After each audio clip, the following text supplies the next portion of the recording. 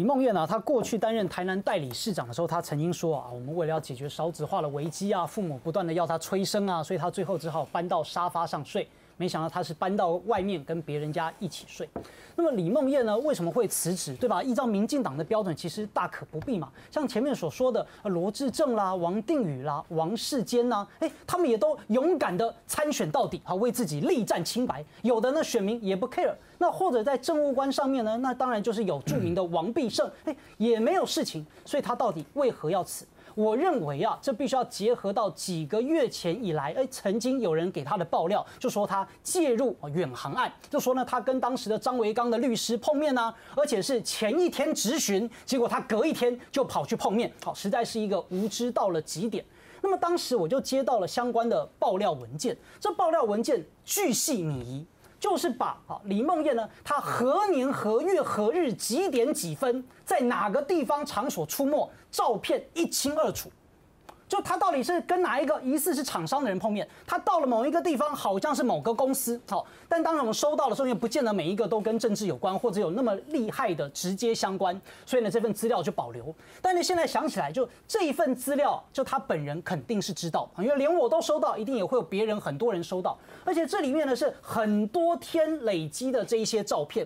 当时我就在想。是不是有人要攻击他，对吧？是有人想要行政院秘书长这个位置吗？还是有人想要交通部长这个位置呢？他那个时候还没有当交通部长，还没有当交通部长，还只是秘书长。那谁会这么样大张旗鼓，就是跟监他，就是几乎几至少两年？就我当时看到资料，跟监他就起码一年。为什么呢？现在一想啊，这搞不好他不见得完全都是政治性的目的，也可能是什么？也也可能是原配要跟踪他，那也可能是小三要跟踪他，就也可能是感情因素，这个不知道。但是我们可以知道，就是说，当李梦燕呢，她。必然知道他的很多的行踪跟踪迹都已经被别人掌握，而且是无法挽回。照片都出去了，影片都已经出去了，然后现在呢，这个小三的东西也都全部都曝光了。所以我认为他之所以及时的请辞，肯定是要及时的止血，因为说不定还有一些东西是没有报。就你赖清德在台南市长任内，你底下的人，你有陈凯琳，你有陈忠燕，你有李梦燕。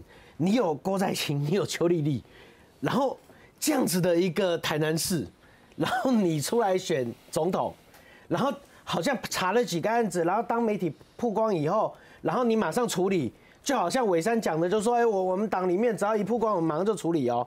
民众期待的是这样吗？民众期待的是你应该在他上任这个位置之前，你就已经查清楚他是不是任了嘛，而不是说他曝光了以后。才才开始去做动作，所以这这表示一件事情，我觉得这这整个结论一件事情是赖清德的用人叫做用人为亲，但不顾私德，他没有那么 care 私领域的部分。你看像像李梦燕，李梦燕其实在这里面还算是相对比较专情的啦，至少她是小三嘛。那你说陈陈忠燕好了，陈忠燕他他的标准就是他只要条件好跟没有刺青的他都 OK 啊，对不对？啊，陈凯琳现在都已经在牢里面了，然后呢，郭台清、邱丽丽这些。整个案子到现在都还没有，都还没一个结论。我们的总统是从台南出来的，但是台南发生这么多事情，他枪击案都不解释，用的人他也不帮他说任何话，然后好像整个曝光以后，我开始法律处理，法律处理，法律处理，就好像我赖清德什么事都没有了。我觉得赖清德他真的应该要痛定思痛的跟国民讲清楚、说明白，就是这这些人跟你这么久了。你你现在究竟是你真的开始到了大卫以后，你开始在清君侧？开始真的认真的想要去做中华民国的总统了，还是说你现在其实也抑制不住你底下的派系在斗争？只要一爆料出来，对不起，你的亲信你要赶快砍掉，砍掉以后就告诉大家说，哦，我是清白的，我跟这群人都没关系。好像我一砍下去，我我赖清德跟我过去在台南市长任内这些所有肮脏的这些事情都无关了。所以我觉得司法也要调查另外一件事情，就是陈忠燕到现在其实这整个案子最应该要查的，其实还不是他。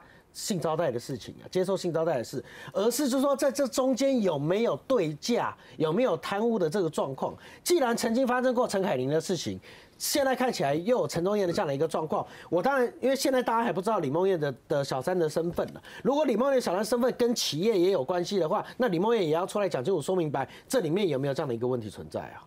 我比较好奇，因为他说十年嘛，啊，十年，那这中间赖清德都不知道吗？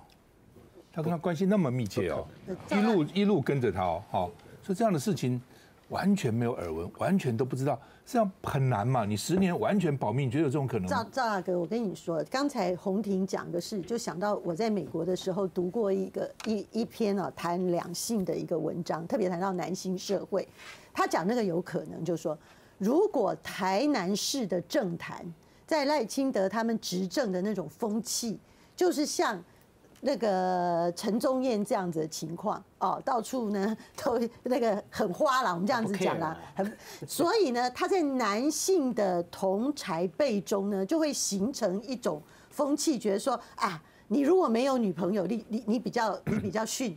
好，你有你你能花的人，你你比较赞。那再加上呢，如果他的整个风气又不会进行道德谴责，然后呢，其他的人呢也不当一回事，那你说他的主管会不会听到？他们可能不不觉得是一回事，他根本不会来讲啊。